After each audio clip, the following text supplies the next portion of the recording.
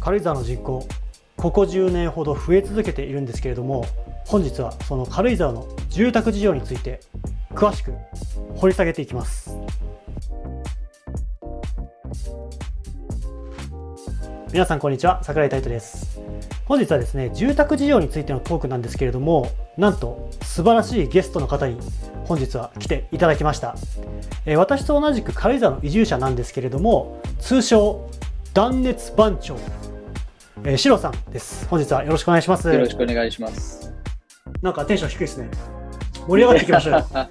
あの実はですね、シロさんはですね、あの当チャンネルの第1回目のゲストとして、これ多分テスト期間なんでね、あんまり皆さん見てないとは思うんですけれども、どんどん人口も増えてきてて、事情も変わっていると思うので、本日はそのですね、シロさんをゲストにお迎えしまして、軽井沢の住宅事情についても深く掘り下げていこうと思ってます。え早速なんですけれども軽井沢の人口皆さんどれくらい増えてるかというところで実際に統計があるのでこちらを見ていきたいと思います。人口がですねなんと大正9年6875人という数字だったんですね。でこれがですねどんどん増えてきまして、まあ、平成に入って、まあ、1万5000人ぐらいの、規模で推移して、え、ここ最近ですねなんと2022年3月1日現在これ町が発表しているホームページの数字なんですけれども2万1205人といやー、本当びっくりですよね。私は地元の高校だったので、学区的には軽井沢と一緒だったんですけど、うん、当時ね、軽井沢から通っている生徒ってクラスに1人、2人。軽井沢のイメージって当時どんな感じだったんですか？いやあの、僕なんかには縁のないリゾート、別荘っていうイメージですね。あの、下手に歩いてコーヒーを飲むと1杯1000円取られたりとか、そういう恐ろしいイメージがあったので、近寄りませんでした。なるほどね。まあ人口もそうだけど、人口の増え方以上に、その中身もね、やっぱり若い人増えてるなっていうイメージありますよね。まあ、この背景としまして、当チャンネルでもいくつかね、過去に動画を作ってはいますけれども、まとめてみますと、軽井沢に教育移住してくる人が増えているという実態がありますと。さらにですね、この住民票としてはカウントされないと思うんですけれども、別荘に長期滞在するような傾向があって、特にですね、コロナ禍で、加速しているというのがあります。さらにですね、新しいお店の出店も非常に多いなっていう印象でして、まあ、一つの経済圏としてあの住んでいる人も使える街というふうに発展しているのかなというふうに思うんですけれども、何か橋郎さん、この辺りどうですかね？今、軽井沢に引っ越してきて4年目に入ったところなんですけれども、家の周りにですね、新しい美味しいお店がいくつできたかなって、都府県だけでもですね、面白いお店たくさんできてるんですね。他のエリアで考えられないようなことが起きてるなとは思います。まあ、我々のね住んでる軽井沢町でも昔はこう冬の間なんていうのは閉まってる店が多くてなんかお店行きたいなと思ったら柵まで降りるとかね あったんですけれどももう今の状態だったら軽井沢で通年過ごしても何ら買い物に困らないかなっていうような印象がありますね。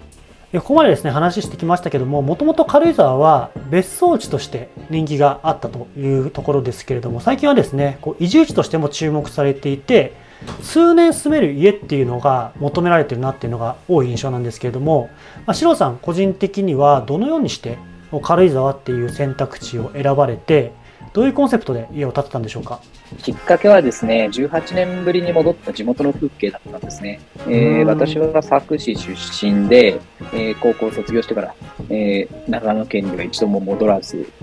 えー、36歳で、えー、佐久にまた戻ってきた。その時にですね、かつて、えー、水田、田園風景の中で、家の前には青々とした田んぼが広がっていて、カエルを捕まえたり、楽しく遊んでいたところがですね、廃車置き場の中に埋もれてしまっていたんですね。で、一方で、えー、土日に見寄った軽井沢方面に遊びに来る、うん、えー、公園で遊んだりっていうことをしているときに、御影用水に通りかかったんですね。美しい景観が守られて、どうしてこんなに違うんだろうっていうことを考えました。自然保護対策要領、要項って、わかんない。自然保護対策要項って、桜井さんのチャンネルでもたびたび触れられる。はいはい、あれの存在がやっぱり大きいなと。軽井沢がね、街並みを守ってきたと。第一種低層住居専用地域では、えー、憲兵率、容積率20%、敷地300坪以上、えー、臨地交代3メーター、道路交代5メーター、で外壁の色だとか、軒の出し方だとか、勾配までこう決められてるじゃないですか。すごい暗記されてるごとく、すごいですね。できたのは1972年なんで、かれこれもう50年ですね、えー、先人たちがまあこういうものを守ってですね、それでやってきたわけですね。なんで、美しい自然とか景観が比較的守られているんじゃないかなと。じゃあそういうエリアに住もうかなと。まあ、佐久市の人からするとですね、その佐の中で佐平周辺とかに引っ越すんだったらわかるんだけど、もう全然ですね、その森の中とか山とかで、まあその時にですね、あの、この美しい景色とか、朝起きて聞く鳥のさえずりとか、あるいは庭から見るリスのあの、まあ、そういう値段がですね、土地の価格に反映されてないんじゃないかなと。私は思いまして、そういうわけで2017年の初めにはもう土地を買ったのかな。そしてですね、あの、バックグラウンドで美しい景色がありますけれども、こちらご自宅ということで良いですよね。そうですね。まあ、家を建てるにあたってですね、都素人だったので、住宅展示場に行ったりって皆さんされると思うんですけど、僕はですね、大きなやる貸しをしています。えー、この家を建っている土地はですね、もともとアトリエが建っていて、まあ、その建物付きで買ったんですね。で、まあ、アトリエを直して住もうというつもりでですね、森の中に、こう、ポツンとある感じいいじゃないですか。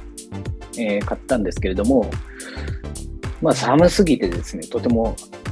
住めないというか、まあ、建物が悪すぎてとても使えないっていう感じですよね。あの軽井沢の町内でおそらく住んでもいいけれども寒いだろうなっていう、まあ、そういう物件たくさん見られると思うんですけれども、まあ、そんな感じだったってことですね。まあ、そういうものの中でも直せば高くなるものと直しようがないものと2種類さらにあったんですけど、私が購入したのがですね、直しようがないものだったんですね。その時になんでその日本の住宅っていうのはそんなに寿命が短いんだろうっていうことを考えまして、まあ一つには性能が悪い。あらゆる性能が低い。で、二つ目、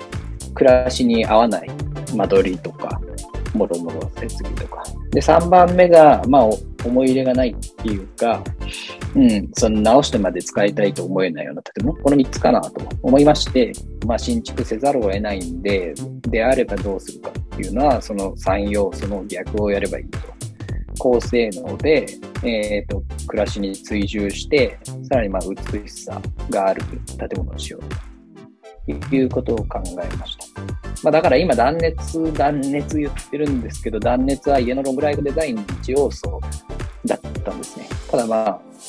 こういろいろいろいろやるうちにですね、ちょっとハマっちゃったっていう。なるほどね。のめり込みやすいタイプなんです。ありがとうございます。まあ、今ね、いくつかエピソード語っていただきましたけれども、まあ、一方でですね、軽井沢からちょっと世界にこう目を、視野を広げていきますと、まあ、ここ5年ぐらいですかね、なんかエコっていう表現が具体的にこうサステナビリティとか、まあ、SDGs っていうスローガンもありますけれども、まあ、そういった考え方に昇華されて、もう人々がですね、住まいを選ぶ上でもこういった基準が大事になる。まあ、意識しなければいけないことなのかなっていうふうに感じているんですけれども、まあ、シロさんのですね、ご経験とかご意見として、軽井沢の住宅事情に落とし込むと、何かこういう気になる項目みたいなのはありますか？あの、まあ、軽井沢今朝なんかもマイナス9度だったのかな。寒かったですね。もう私、あの、断熱の話だと思って気合で半袖で来たんですけれども、外は極寒です。北海道なんかに比べるとですね、その断熱されていない建物、エネルギーをたくさん使う建物が多いです。実はですね、えー、軽井沢の、えー、平均気温はですね、冬、札幌よりも寒いんですね。これはあの私が嘘ついてるんじゃなくて気象庁のデータ ちゃんと寒い。当チャンネルでも何度も言ってるので視聴者の皆さんついてきてると思います。日射量ですね。太陽が冬出ている時間っていうのはですね、長いんですよ。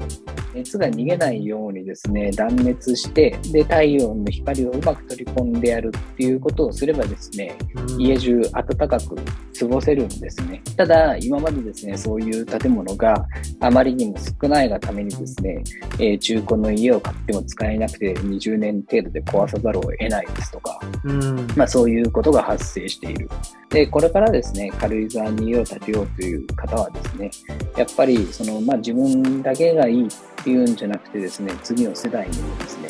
引き継げるような家にしたいなってみんな普通に思うと思うんですよね。うん、まあね、自分の資産価値っていう意味でもそうだし、先ほど桜井さんがおっしゃってた SDGs とかサステナビリティっていうところもそうだし、